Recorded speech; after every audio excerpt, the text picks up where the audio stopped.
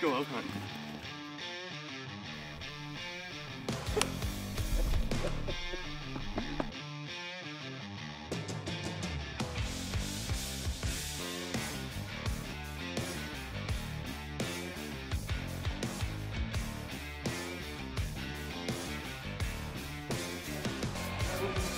Mm.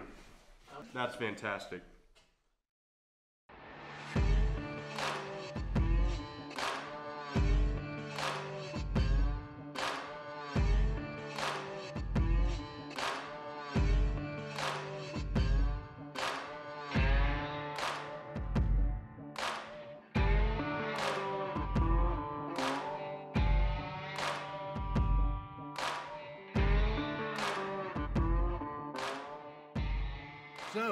We finally made it. This is actually one of our all-time favorite spots to coming to in New Mexico. This is my third time, Eddie's second time. Good time, yeah.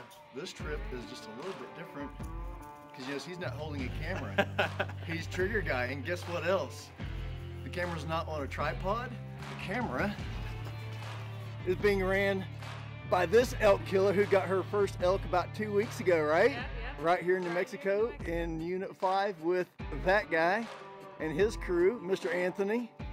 She's gonna be running the camera for y'all that don't know because you don't ever get to see her face. This is Ashley, all the awesome videos that we put on our YouTube channel, she's responsible for. She does all the editing. So we are going to go chase some elk with Anthony. We just pulled in, we unload the truck and he's like, where's your gun? Let's go. He's not messing around. We've got like literally about an hour before dark. So we're gonna throw in something a little bit warmer, throw in some good boots. He's gonna get the gun, Yeah. the Benelli Lupo 300 Win Mag, and go look for an elk. Right? Let's do it, yeah. Let's go. That's awesome. Yeah. Let's go elk hunting.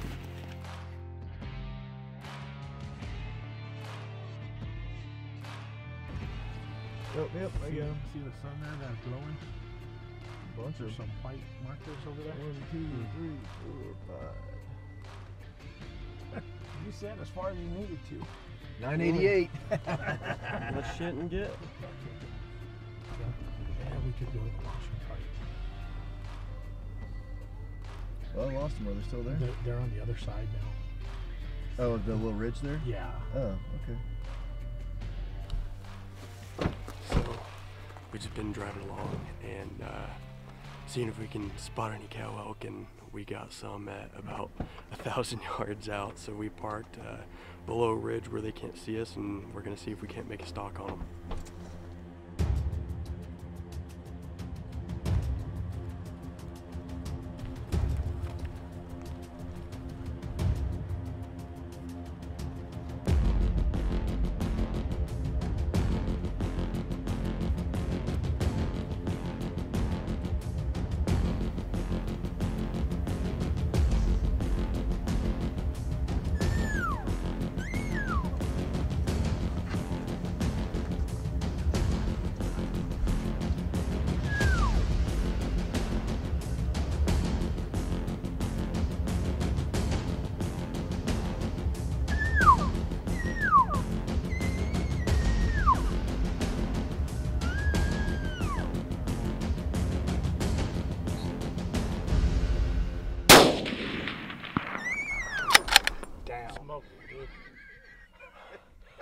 Look at all them elk.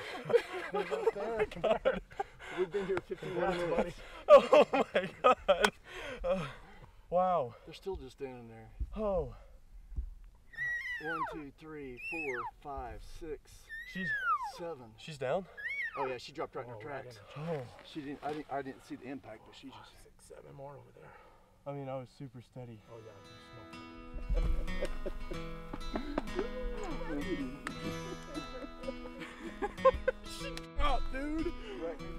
my god! Tell me what just happened. Um, I don't even know. Uh, so we're driving down the road looking for some elk.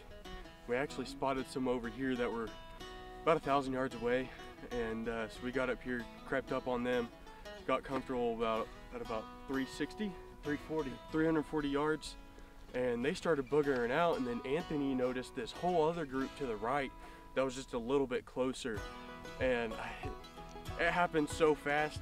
A hunt has never happened this fast for me. Um, I'm kind of at a loss for words right now. Um, Anthony, but- he's going to think this is what elk hunting's like. I know it's not. I know it's not. But uh, anyways, we got set up on the cows over to the right. Picked one out. It was the third one uh, from the left. Uh, Anthony called her out broadside, and I lined up on her and dropped her. Uh, this is why I do what I do, man. this is it. To be able to do this with this kid. Freaking awesome. I'm in shock. We got 370 yards to go. Let's go yeah, let's do it. Gosh. There you go, Eddie. Look at that. nice shooting. First cow elk, man. Dropped in her tracks. Oh my goodness. This is insane. This is This- absolutely awesome, man. This is a big animal. Yeah. Oh yeah. yeah. Yeah. Wait till we get into bulls or we go on a moose hunt. Yeah, no doubt. This That's- is uh, this is super exciting. Yeah, I am. Uh, so, I started this company in 2004. He was five years old, and it's always been my dream for him to be able to run this company with me and for us to be out and do exactly what we're doing right now. The last two years have just been insane. They've A flown by. whirlwind, man. Yeah, they've flown by. We started working with our chef team. We're out here hunting cow elk, and we're gonna be able to skin this thing out and have uh, I don't know, probably 150 pounds of meat Yeah. to take home with us. Yeah. And then we've got guests coming in tomorrow. Uh, they're gonna do the same thing that we're doing. They're gonna do some learning from uh, Chef Cliff. And uh, man, you and I get to live the dream, buddy. We are living the dream. Mhm. yeah, this is this is cool as hell, man. This is super crazy. Yeah. Um, thanks, man. Love you, buddy. I love you. Good job. Thanks.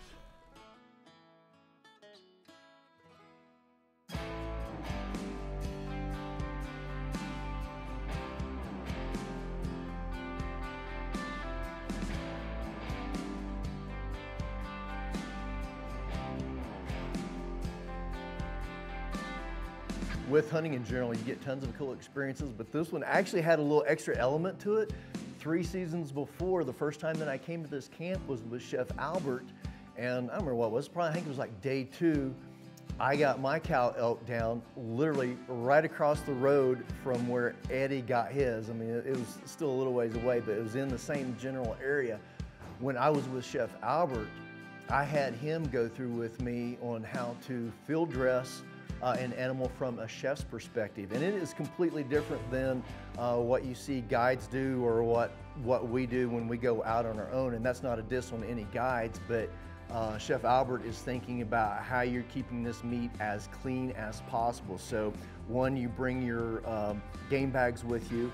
The other thing, he would do half of the cow at one time lay the hide out. Then when you were done with that side, roll over. Everything stays clean because you're staying on um, the hide that you just skinned. So I learned a ton from Chef Albert being able to do that. The cool part was two years into doing from field to table, I was able to pass that knowledge along to Eddie. And I know years down in the future, he's going to pass that along to our future clients and hopefully to my grandkids.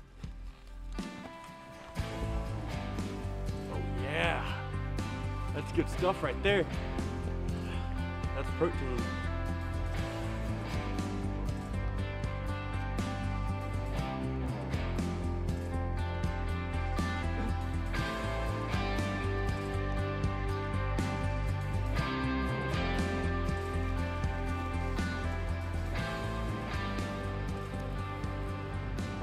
Back to the truck.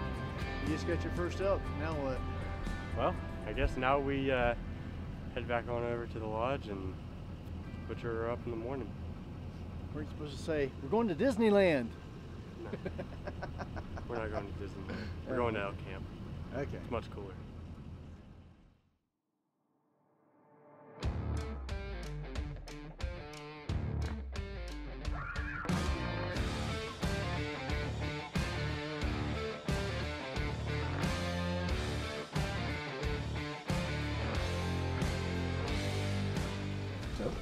We doing? I think we're doing pretty good. So here's the cap that went on the uh, top round. Take it off, we'll use that for some grind. Get that hair off. So yeah, there's our top round right there. We got our bottom, bottom round here. Got some trimming to do on it from dry aging. And then right here we've got our sirloin with the tri-tip still attached to it. A little bit bigger than a whitetail, huh? Yeah, just a little bit. Oh, and then we got the eye, of- eye of round, the heel, the shanks. Nice. And I think on this one we're gonna leave the uh, shank on the bone and braise it. Cool. I'm down with that. Sounds good? Yep. Sounds Cool. good. Good job, buddy.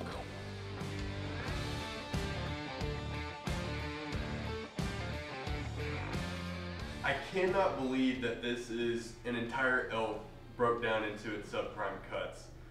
It's way different than a whitetail and a lot more than I ever expected.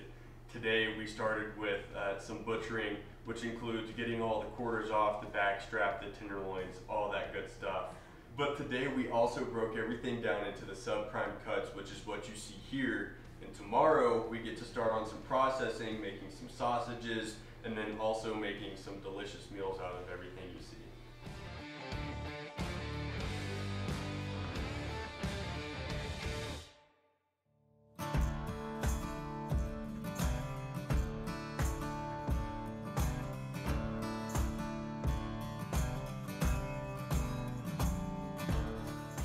About being in camp, especially remote camp like this, you've got to be prepared to roll with the punches. We got punched last night, so we had a major windstorm come through, a little bit of sleet, a little bit of snow, and blew all our power out. So we have no power, no cell service, and no water because the water runs off of the pump because we're remote. So we're gonna make the best of it. We're still gonna make it happen. We do what we do around here. We got cowboy breakfast, we got a fire. I think we're charity. My all-time favorite part about doing these events is the people. We meet some of the most interesting people, and there's always just that one character. This camp is hands down Chico, our cook. Dude is always happy, always has something to say, and there's not too many words he doesn't like. But he's made camp a lot of fun. Thanks, Chico. Top of the head's the hardest part of the body. That's right. That's how you break a knuckle, right?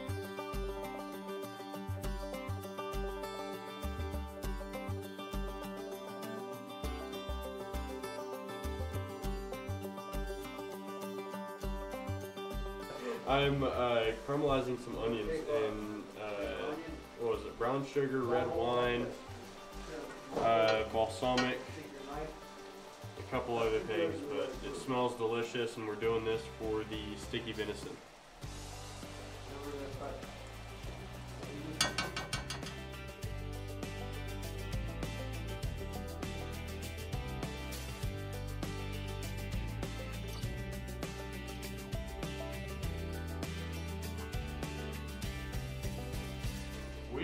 Got done slicing up some backstrap, about half an inch thick. What backstrap? Backstrap from my elk. What? yeah. Yeah, so we're about to season them up with some salt and pepper, and then uh, we're gonna eat some for dinner. What, we- what are we making? What are we gonna have with it? Uh, chef hasn't told me yet. So what are we making with that backstrap, chef? We're gonna make a little garlic ginger sticky elk. A little rice pilaf, steamed broccoli, and carrots bolognese. Nice. Sounds pretty good to me.